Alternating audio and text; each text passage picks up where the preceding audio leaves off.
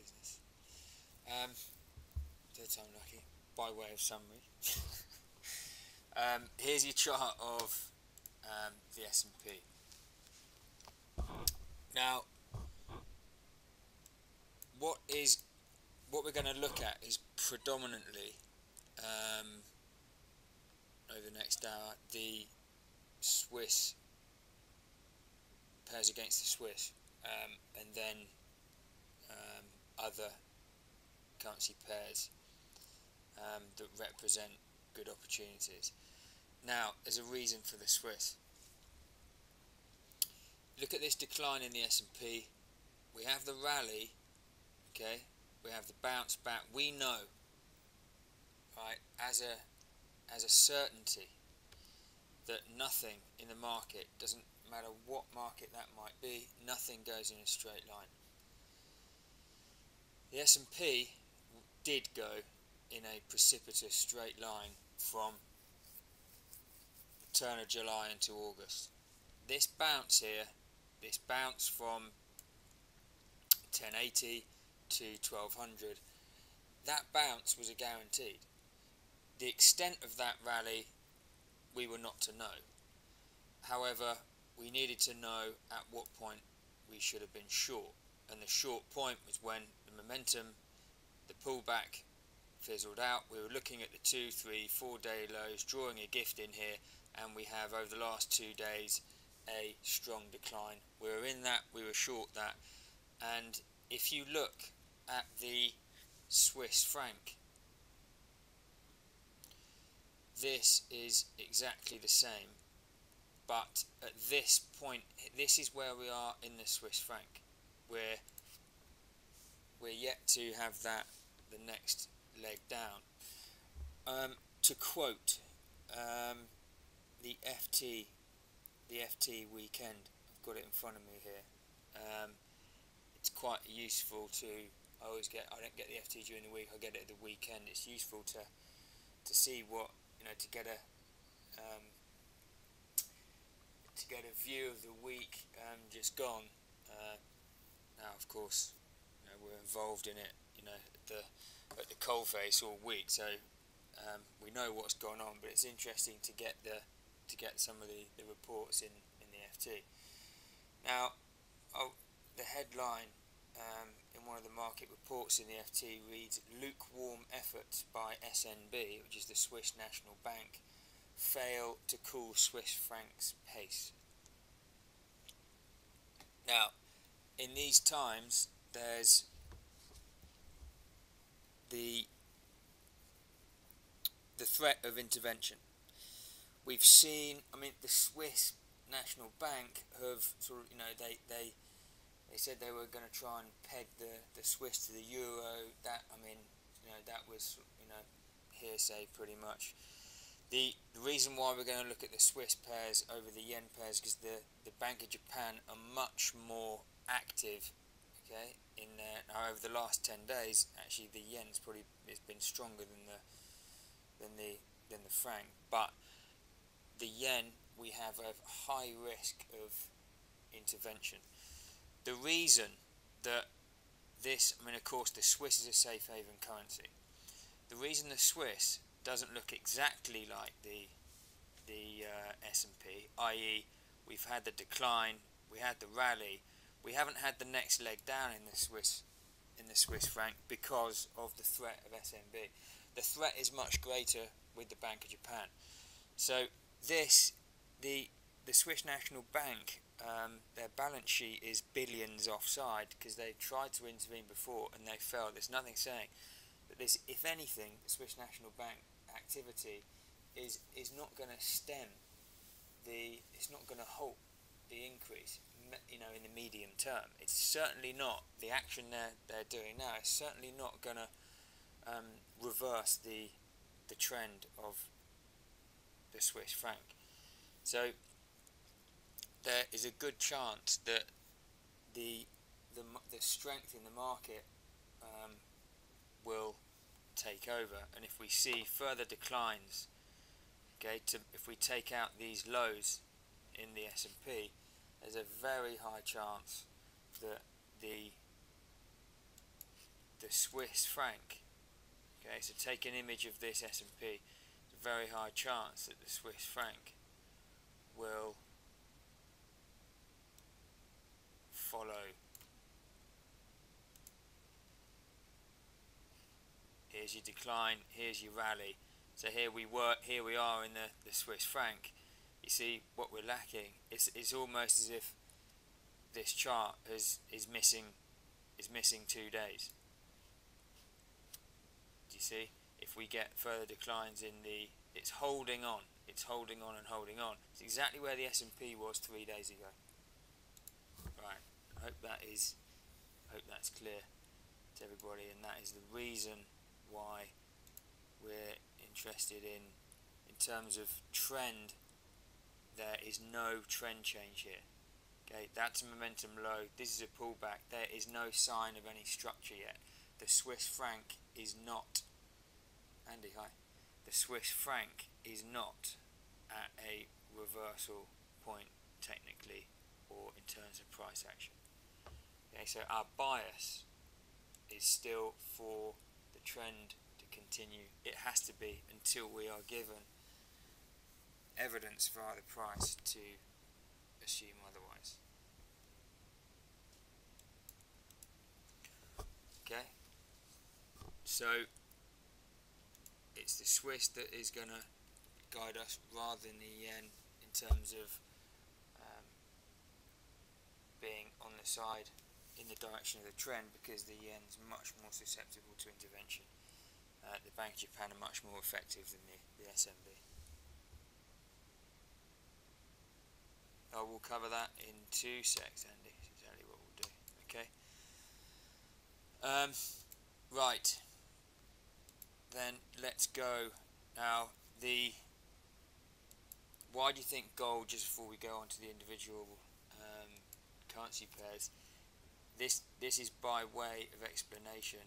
Um, this explains what I've just uh, what I just said about the, the threat of intervention in the yen threat of intervention in the, the Swissy, that explains very clearly and directly that that is gold.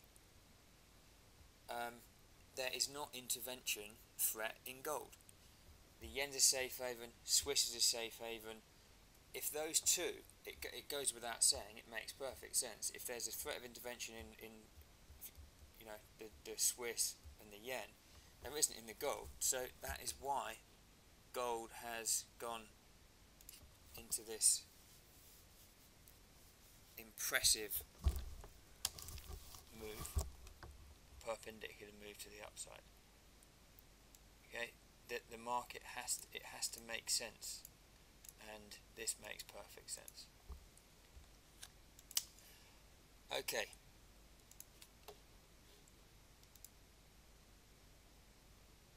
So we're going to start with this, with the um, with the concern, the fallouts in the markets.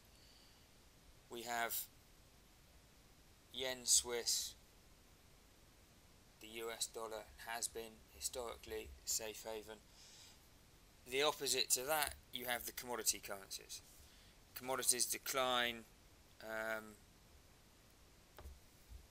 on economic concern and the Aussie and the CAD are commodity currencies so our first port of call is the CAD Swiss and the Aussie Swiss.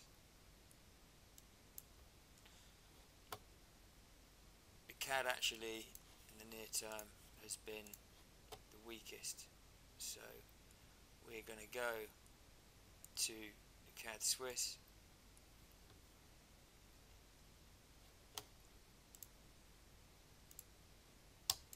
Now, pen and paper at the ready. If you've got charts there as we go along, I want you to put all my lines. I've already, I've been here the last two hours. I've put all my the lines on my chart. I've filled the radar screen, so you know, I'm not going through it as I do it. It's all on there. So pens and paper at the ready, and if you've got your charts there, put the same lines on as I have on my chart. So you've got a ready-made chart. So, CAD Swiss then.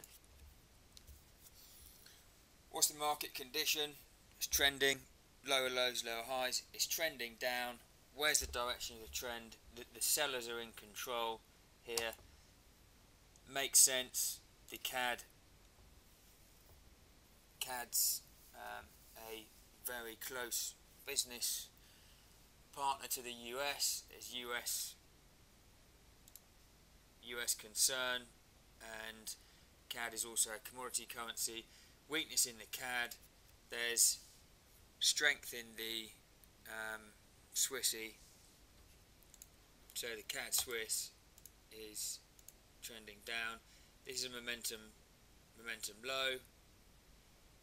We have a new momentum low here. We've had the pullback. We are looking. Okay, this is like the the stalled S&P picture again. We saw what happened in the S&P. We are interested in patterns and price action playing out. We've seen we've had a bit of a heads up in the S&P. Um, here's the pullback. I mean, we've got in terms of what I've done here, in terms of you know the two structures.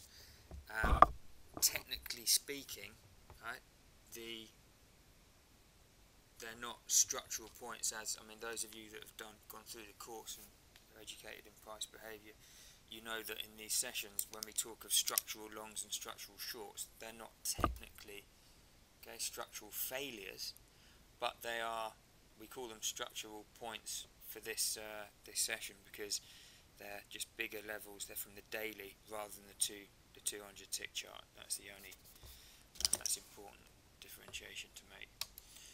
Um, structural short is on here. It's the we had actually we had a gap here the beginning of last week, um, Sunday to Monday. The opening on Monday in the Swiss pairs we actually gapped up. It's unusual in uh, it's unusual in currencies, but we had one. Um, the Tuesday, the low made was the top, was the bottom of the gap. Um, that is going to be that's going to be our structural short. It's taken into account, it's basically last week's low. Um, and that level, structural short then, is 78, 79. So it's the 1, 2, 3 for 5 day, 5 day low, it's the weekly low then, and it's the it's the point where um, on day 2 the gap was filled from Monday. That's our structural short. If we break that short then at 78, 79, effectively it will be a break of a gift line for those of you um, that are familiar with the gift line. That is precisely why we shorted the S&P. We're using exactly the same analysis of the price. That's why we shorted the S&P last week and we had the declines. You see, we closed at the lows Friday in this CAD Swiss and we are now poised for a nice entry to the short side. The structural short then 78 79. The structural long, um, I started out by saying we haven't had a failure to make a new low, so we don't have a structural failure, but structural long it will be the high of last week, and that's 81.60. So high oh, last week 81.60 uh, here's the last momentum low in the downtrend up 83.67 if you know for a much more significant structural long that 83.67 would be um, a better long for a, to hold a, a, position for a reasonable amount of time. But the, closest closest long with the 8160 To the 200 tick then. Narrowing it down. Here's the last, here's last week's picture. Um, you can see that, you can see on the daily, the last week's been broadly, it's been, you know, broadly consolidating within a range. That gives us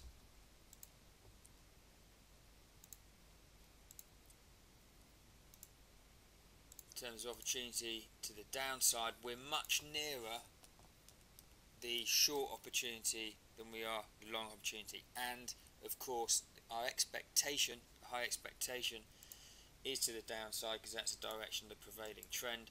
So the short point is when I get to 200 ticks, the short points are represented by the red lines, the long points by the green. So you've got them on there. So before I actually say them, you can see what levels they are. Um, the one day low um, is our short point. That short point is 7904. 7904 on the short side is the one day low and indeed that one day low is the low of uh, a number of days to the long side. Okay uh, the short stop excuse me the short the 79 7904 to the short side. If you're going short there your stop. You don't want a you don't want a strong reversal. So your short stop is 7925 okay you want to you don't want to give you want to maybe take into account this this low here the low made in the US session that's going to be the other side of that's going to be your your stop your short stop is 79.25 to the long side the very earliest opportunity is sort of the top of this the top of this range here we should be taking into you know we'd have to come back through the one and two day the one and two day lows um, and the three day low here would be rejecting that we'd come or at least the two day low we'd have to come back inside you know, you'd want to see a move back above. I mean, it, it's, it's not a priority, the long side, of course. And indeed, the long, I mean, the very the closest long is 80.17. It's not the best trade in the world. We're going counter trend if we take that. And actually, the structural long is 81.60, which is you got a bit of a bit of a wait for it. But to be honest, that's your aggressive long, I would be in you know by by virtue of the fact we're going counter trend.